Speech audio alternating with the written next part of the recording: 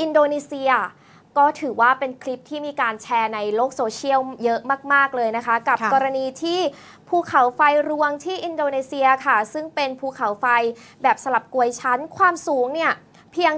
725 เมตร จากระดับน้ำทะเลนะคะ ก็มีการปะทุครั้งแรก เมื่อคืนวันอังคารที่ผ่านมาค่ะ แล้วก็ปะทุอีก 4 ครั้งนะคะ ตลอดวันพุธที่ผ่านมาทำให้ล่าสุดสำนักงานวิทยาภูเขาไฟแห่งชาติอินโดนีเซีย ประกาศยกระดับเตือนภัยจากระดับ 3 เป็นระดับ 4 ซึ่งเป็นขั้นสูงสุดค่ะ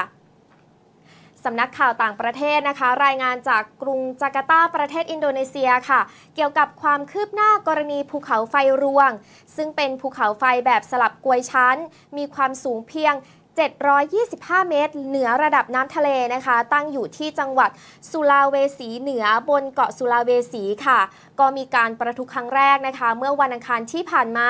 และประทุอีก 4 ครั้งในวันพุธค่ะทำให้สำนักงานวิทยาภูเขาไฟแห่งชาติอินโดนีเซียนะคะ ประกาศยกระดับเตือนภัยเป็นระดับ 4 ซึ่งเป็นขั้นสูงสุดค่ะ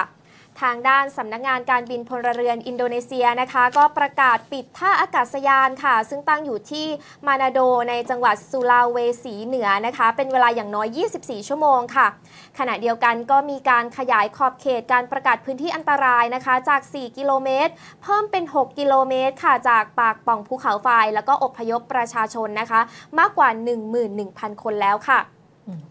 ขณะเดียวกันนะคะสำนักงานวิทยาภูเขาไฟแห่งชาติอินโดนีเซียก็มีการเตือนภัย แล้วก็เฝ้าระวังสึนามิที่อาจจะเกิดจากภูเขาไฟถล่มลงสู่ก้อนทะเลค่ะ เนื่องจากความรุนแรงของการประทุนะคะ ก็มีความรุนแรงอย่างมาก และถ้าเหตุการณ์นี้เกิดขึ้นจริงนะคะ ก็จะเป็น เหตุการณ์ประวัติศาสตร์ซ้ำรอยค่ะ เหตุการณ์สึนามิในปี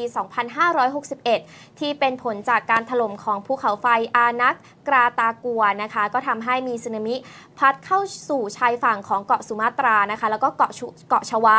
ทำให้มีผู้เสียชีวิตทั้งหมด 400 รายค่ะ ซึ่งปัจจุบันนะคะ ประเทศอินโดนีเซียก็มีภูเขาไฟประมาณ 130 ลูกค่ะ ส่วนใหญ่ยังเป็นภูเขาไฟที่ยังมีพลังนะคะ แล้วก็การที่อินโดนีเซียเป็นประเทศที่ตั้งอยู่บนเขตที่ชื่อว่าวงแหวนไฟแห่งแปซิฟิกก็เป็นการเรียงตัวของรอยต่อเปลือกโลกนะคะ คล้ายกับแนวเกือกม้า ก็จะทำให้อินโดนีเซียเนี่ยเผชิญกับสถานการณ์ภูเขาไฟปะทุและแผ่นดินไหวเป็นประจำค่ะ